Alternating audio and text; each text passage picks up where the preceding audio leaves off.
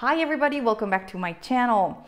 Today I'm going to focus on three verbs that create confusion because they're all used to talk about the ability of doing something. So obviously, if three verbs can be used to talk about basically the same thing, it's natural to be confused, right?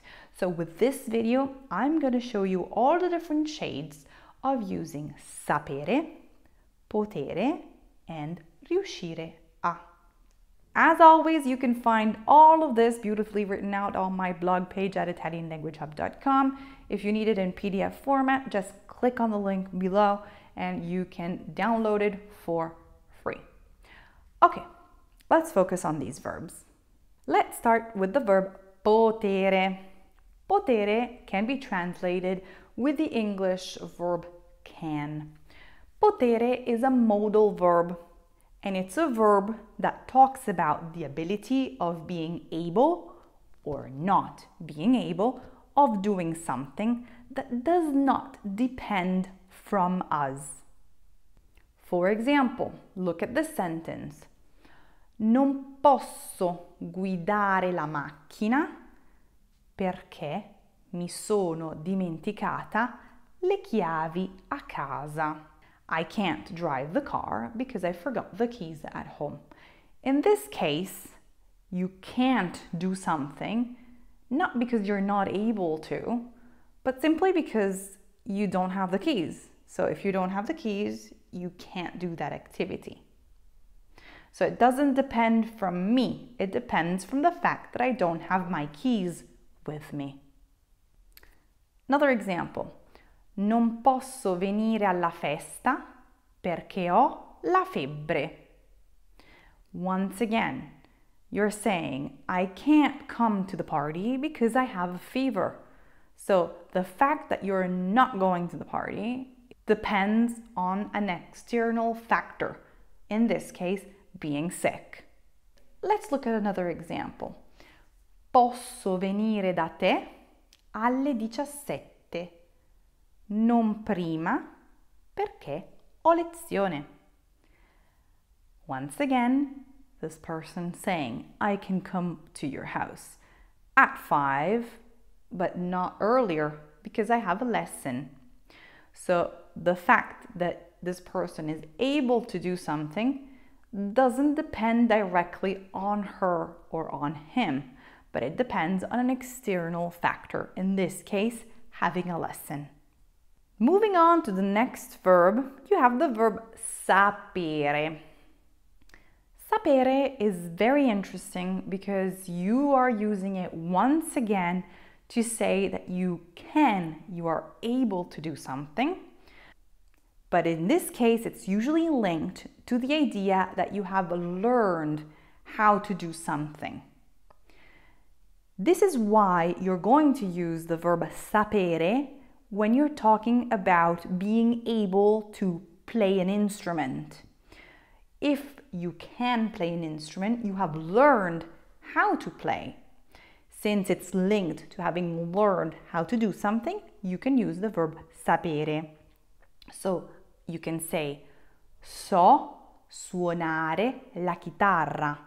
I can play the guitar. Meaning, I have learned, so now I can, I'm able to play the guitar.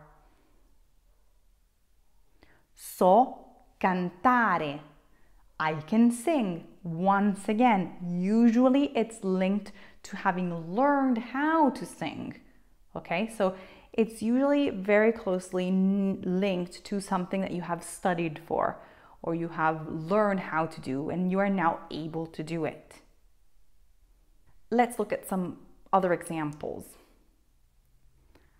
Laura sa guidare la macchina? In this case, you have a question.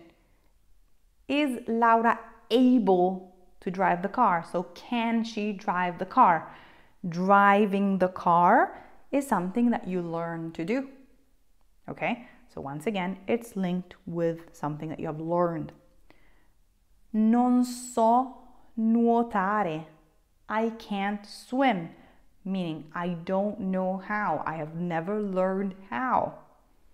Or Sai cucinare gli gnocchi? Can you cook gnocchi? Meaning, have you learned? Are you able? Can you do it?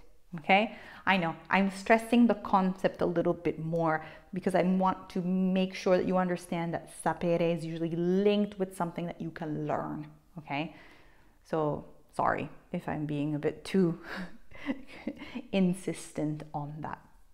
The last verb that I want to show you and I want to compare is riuscire a. The first thing that you need to take into consideration, remember, highlight, read it out 150 times until you remember it, is that you're going to use the preposition a. Riuscire a.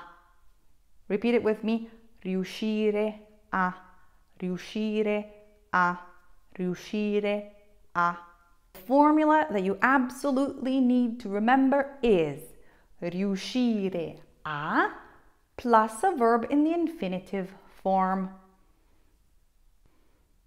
Take note that the two previous verbs had this formula. Potere plus a verb in the infinitive form. Sapere plus a verb in the infinitive form. Potere and sapere do not have a preposition afterwards. Riuscire will be riuscire plus a plus a verb in the infinitive form. Riuscire a describes the mental and physical ability of doing something. For example, if I say non riesco a venire alla festa perché sono troppo stanca. So I can't come to the party because physically I'm just too tired okay? So you're not coming, not because you're sick, but because mentally you just cannot make it. Let's look at some examples that will make this more clear.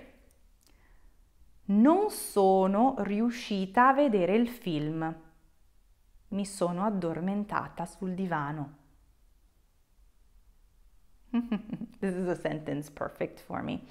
So I'm saying I was not able to watch the movie because I fell asleep on the couch. Hands up if it happens to you. so in this case, physically, I was not able to watch it because I was so tired I just fell asleep. Let's look at some more examples. Non riesco a camminare perché mi fa male il piede.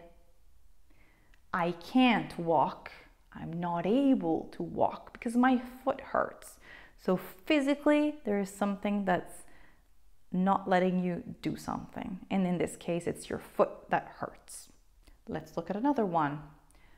Non riesco a capire qual è il problema. I am not able to understand what the problem is. In this case, the ability is linked to something mental. So you're not able to understand, okay? It could be a figurative or a real meaning towards the sentence. Last example. Sono riuscita a superare le mie paure e ho accarezzato un cane. Hmm. In this case, you're saying I was able to fight my fears and I was able to pet a dog. Now, luckily, I don't have that fear because I would cuddle dogs all day long if I could, but I know sometimes people have fear of animals. So you're linking it to something that is in, the, let's say, like in the mental field, in the mental sphere of things. Okay? All right. I hope this lesson was uh, helpful for you and that it cleared up how to use these three verbs, I suggest that you write a couple of sentences. For example, can you play an instrument? Write it in the comments. Tell me something using those three verbs and show me that you really truly understood how to differentiate them and use them correctly. I'm here to help you. So if you write a sentence that's not right, I will correct it for you. I want you to succeed in your language journey. If you need anything, write a comment or get in touch with me at giulia at italianlanguagehub.com. Un bacione!